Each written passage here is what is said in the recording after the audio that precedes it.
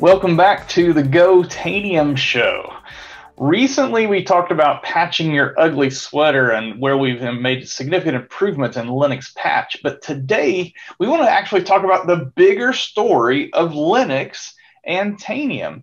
How can you get the visibility and control across all those different distros, all the different environment that you have going with Linux, even some snowflakes out there, right? How can you see all that and manage it quickly and easily from the Tanium console? So today's episode is called Power to the Penguins. Yes. And with me on the show today, I have none other than a TAM on my team whose name is Charles Champion. Charles, introduce yourself. Yeah, hey. Um, yeah, Charles Champion. Um, been a technical account manager with Tanium here for going over five years. Uh, focused a lot on the non-Windows and Linux side of things. Uh, kind of done that along with my career. Even had some time at Microsoft doing some non-Windows work there, um, and just uh, been kind of focused on Linux my entire career. And yeah, looking forward to talking to you today. All right. So, Charles, we support a lot of different distros for Linux. Mm-hmm. Uh, I'm going to share my screen here. So here's our public docs. Remember docs.tanium.com, my favorite website. On there, you'll find a list of all of our distros. Uh, Charles, you want to talk us through these different Linux flavors? Yeah, absolutely. And you can kind of see at the top that we support uh, some of the you know more uh, the cloud Linux flavor, Amazon Linux there, and we got our Debian-based uh, Linux flavors as well, Debian and Ubuntu, which you'll see later on alphabetically. And of course, our Red Hat-based uh, operating systems, including our RPM-based uh, operating systems, including Red Hat, CentOS, Oracle, um, and OpenSUSE and SUSE and Linux Enterprise Server are all kind of covered out of the box. So the ones that you you know don't see here, maybe they're a little bit older, or maybe they're uh, not the more familiar, widely uh, use distributions. Maybe they are Debian based, RPM based. They, you know, it's not to say they wouldn't work, but uh, you know, these are the ones that we're supporting and testing on our side. So. Okay, so I know you and I were talking earlier. What if I've got a flavor that's not on there, like oh, it's just for fun in my lab? Let's say I've got Linux Mint or something. You know, mm-hmm. what what about other distros? Would they yeah, work? I would say yeah, absolutely, they will uh, work, um, and you know we, we like to do what we can to to offer the the best effort there. Uh, and I, I like to use a Gentoo example where we had a customer that had a good, you know, uh, large sampling of Gentoo machines, uh, and they were just kind of curious about can they use Tanium to monitor those. And really, it just comes down to the library dependencies. You know, if it's a common library set, which they always are, uh, our client's going to use that common library set, the you know C runtime library, and it just needs to be the same version that we were compiled against in a lot of case, you know, cases they are, and it's very portable in that sense. So yeah, it works in a lot of cases, and I've had um, some machines uh, show up in my uh, Get computer name output that um, in operating system that definitely are not the officially supported flavor of Linux. In a lot of cases, I mean, we we've helped customers work through those kind of challenges with the lesser known or lesser used uh, versions of Linux out there. Um, and what we find is those customers typically are in the process of migrating to something that is more widely supported. Um, so usually it's it's a kind of a temporary solution as they kind of use Tanium to understand what they need to move away from and you know get that whole visibility and control over things that are like you said snowflakes out in their environment and bring them back into that uh, realm of um, you know compliance. Mm-hmm. So you managed, uh, mentioned some best practices that we were, as we were prepping for the show. You said that you guys on the Linux client side, we do kind of stick to best practices, including uh, we even run as root. Maybe talk to some of those, uh, the way the yeah. client behaves on the endpoint. And yeah, you say best practice and run as root together. And, and depending on which side of the, the Linux fence you may find yourself on, maybe you feel that that's not the case. Oh, none of my applications should run as you know root unless um, they absolutely need to. And that's absolutely the case here with Tanium. The level of reporting we're providing, and uh, again, that visibility and control is typically going to require a root user. And that's why we require root, and we're going to follow those best practices uh, we run in user space, not in kernel space. So there's a big distinction there. We're not going to you know, do anything that should cause the machine to kernel panic or crash on its own. You know, if anything, the kernel can target us and, and stop our client process. Um, you know, some people have out of uh, you know out of memory management uh, applications that will target non-critical applications. And you know, I've seen Tanium client get killed by those, and it doesn't mess up a machine to you know because of those best practices that we follow. So we support lots of distros. So mm-hmm. the next question would be then how do people install or deploy Tanium? Do they use Puppet, Chef, Ansible? Where where do they go to deploy it? It's so over the past uh, five years of Tanium, I've definitely seen Ansible. I've seen Chef used. We've learned that um, you know customers managing Tanium uh, in a detect and fix manner is not necessarily the best method, but uh, using those tools to at least lay the bits down always seems to work out well. So however you can get the bits out there, once the bits, you know, the Tanium bits are deployed, then it's always been easy for us to maintain the client. And we can talk more about client upgrade uh, here in a little bit. But uh, now it's even better with the you know most recent version of Tanium and our Tanium client management feature. We can just do that right from the console. Uh, yeah, show us what you got. Yeah, absolutely. Let me show that off. And I'm just going to share out my Chrome interface. All right, so here I'm logged into one of my um, environments, and this isn't even you know kind of the one I keep on the, the latest and greatest here, but we have uh, our client management shared service. Under client management, uh, you know you can define some client settings, uh, credentials, and it will mate those client settings and credentials into what we call deployment. And that deployment I then targeted to um, you know my uh, Red Hat 8 machine that an uh, Ubuntu machine that I have out there. And you can drill down into these and see like, okay, so right from within the Tanium console now I've defined the client settings I want to send out. You know, if I want to use so much for logging or nothing for logging, um, and then the credentials that should be able to log into that machine. Uh, and hopefully, you know, these are you know, trusted targets and not something that you're going to have a mixed uh, bag of machines that you don't want to just willy-nilly target, uh, you know, obviously, credentials at an untrusted machine. Uh, and that's why we give you the option to specify a single IP, subnet range, DNS, and uh, so on and so forth. And then out of all the machines that you target, you'll get this list and kind of a log of each that it went through and uh, what it was able to do as far as that deployment. So this has come a long way from back having to depend on you know third-party tools to do this for us. Now we're able to do it right here in the console and even troubleshoot uh, when things don't go well. Yeah, I was playing with this with a Mac machine in my lab the other day, which is you know half Linux anyway. but uh, I uh, it was beautiful. It, it, would give you all that console output from the install. So I've got all these distros. I get a Tanium client on there, and you mentioned that we can upgrade it as well. How do we do that? Yeah, so for the upgrade, um, we have some uh, content, uh, kind of the client upgrade content that uh, basically we have a manifest that's able to be downloaded and it can use that manifest to automatically pull that through the Tanium architecture and push that out to the clients. And the client realizes like I'm on client version X and client version Y is now the latest. Uh, if you configure it to do so, it'll automatically update itself in place and uh, bring itself up to you know the the best GA supported client that maybe you approve it to, um, or that uh, you want it to. You can manipulate that upgrade client any way you kind of want, like do it just the single version or have it maintain itself. Yeah, I've used that a little bit with some of my customers. And it's really clever the way it works, and it's really robust. I mean, it'll you just point one Tanium package at any Linux flavor, and it'll figure out what flavor it is, download the right installer, and upgrade it. It's it's beautiful watch it work. Yeah, I think I think it's broken out into to non-Windows altogether, so it's it's that smart across you know not just Linux, but you know even AIX and Solaris, which is uh, can be you know areas of struggle for uh, some other non-Windows discussions. yeah, so let's talk about then.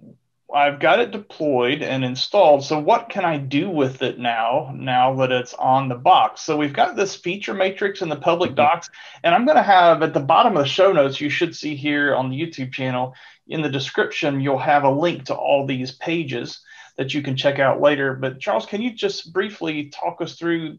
We've got Absolutely. some green check marks here where Linux is supported across their modules, but there's also some reds and oranges.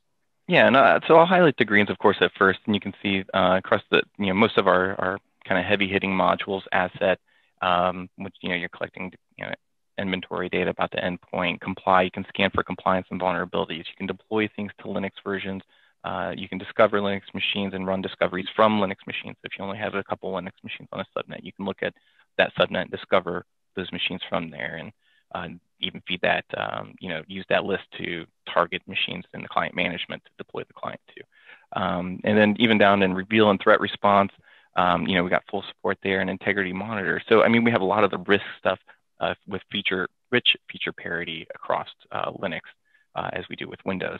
Uh, where you see the red X's come in, end user notifications. Um, that's very much a specific to Windows kind of function where the end user is logged in um, and they get a pop-up saying, "Hey, you need to reboot, or you have an update or a patch to deploy, or um, you know, application to install." Um, you know, typically people aren't going to be logged in uh, first person using uh, Linux machines. Um, and, you know, we've seen some kind of push uh, for desktop use on Linux machines, uh, even more maybe recently, but still not in, in, enterprise use and being feedback driven like we are from customers. We just haven't gotten a, a customer request for that kind of end user notification that I'm aware of. Uh, so that being said, uh, that's one of the reasons you see the red X there. And, um, and the other things that, you know, are kind of showing moderate, that's or like the in between, that's where patch. So patch is you know, fully supported on Red Hat and RPM-based operating systems. But uh, Debian-based operating systems still like a roadmap item, for example. And you know that's why you'll see kind of some mixed uh, um, variables between those uh, modules. It's just you know it, it's just there's so many distributions on Linux and so many different processes to follow. We want to make sure we do it the right way on each of those distributions. Mm-hmm. I know Enforce also has some. Uh, it'll do like some IP table type management things, but it's not a firewall. Mean, yeah. yeah. Okay. Yeah. So we do have some. Actually, you know, if you if you don't look at the red for just a second, I mean, we do have some really broad use case support across the Linux uh, feature matrix here. Mm-hmm. For things that you may uh, not have capabilities with today, or maybe they're there, but take a lot more effort than just a simple, uh, you know, with the speed, scale, visibility control we give you in the Tanium console. So yeah, so once I get uh, Tanium agent out there on my Linux machines, I've got all these modules I can take advantage of. Why don't we just look at the console itself? Can you show us what are some like things that I would ask of Linux machines in the Tanium console? Yeah, absolutely. So um, some of this, uh, I'll show out uh, another one of my environments here. Um, give me just a moment. And this environment here is uh, kind of one of my uh, more heavily used dev environments. And uh, I have some Linux dashboards that I kind of put together for customers. And then, you know, some of it's comprised of just like regular inventory dashboards that we have, like, you know, regular saved questions that you could ask. You can ask of your um, Linux machines, and some of them may apply, some of them might not, like Microsoft software, obviously. That's why I put together like some Linux specific dashboards um, for like Linux inventory. And so, you know, if I drill into Linux inventory, really I'm just taking some of those existing questions and adding is Linux true to the end of those and creating my own saved question set and dashboards. And um, one of the things I, uh, you know, did for other customers is uh, maybe more along the lines of custom content. And custom content, uh, for those maybe not aware, it's just, um, you know, you know, you're able to use shell and, and Python interpreters on Linux um, kind of out of the box to do pretty much anything you can do at the command line. Uh, if you can get something back, you know, sub-second, that could be like a sensor that we're feeding in data here, just like that. And so one of the sub-second things that we are able to do as um, kind of maybe not out of the box at Tanium uh, was, you know, customer wanted to know how many root users do I have? How many sudoer users do I have out there?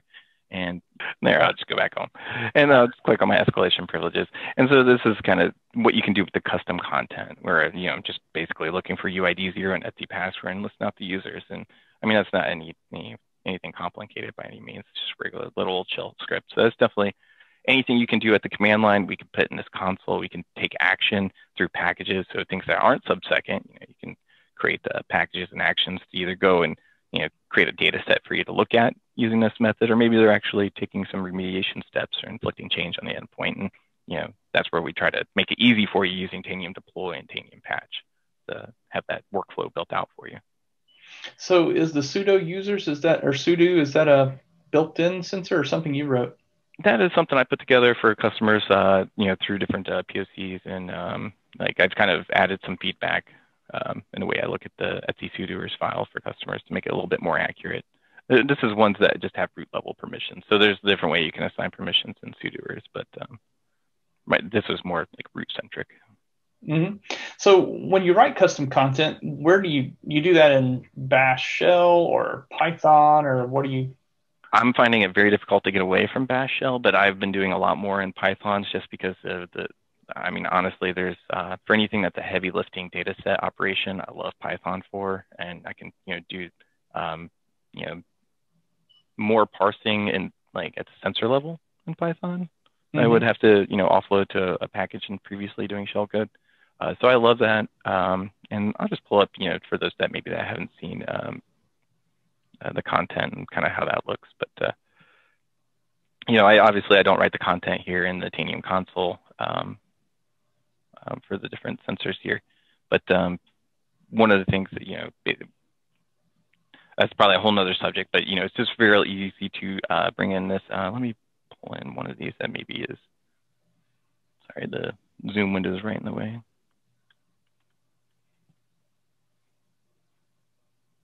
And thank you. Yeah, we'll get there.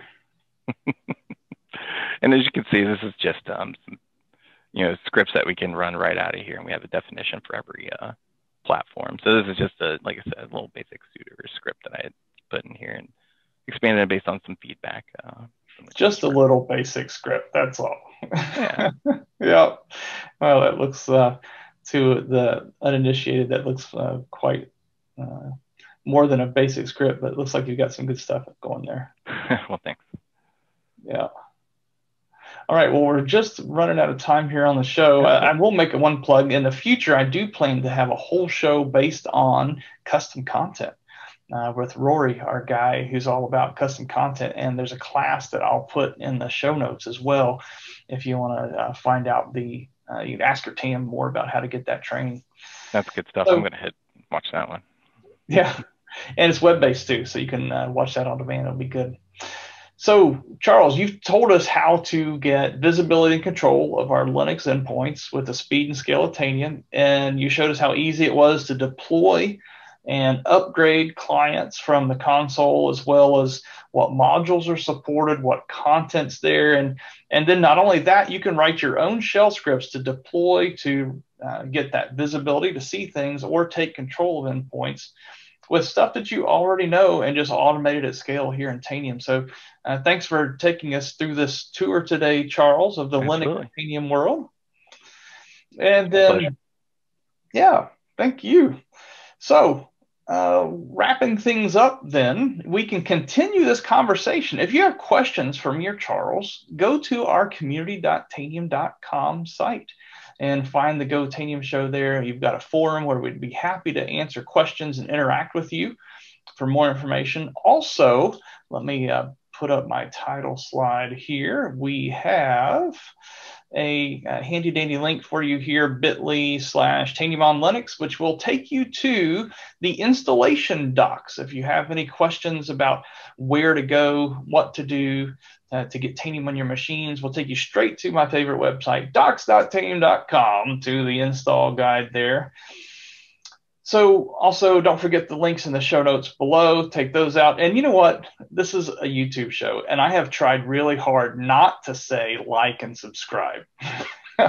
I'll leave that up to you. I figured you already knew that part, but sure, like the show, subscribe if you like, so you can get updates on, on when we're uh, publishing these shows. And until next time, go Tanium.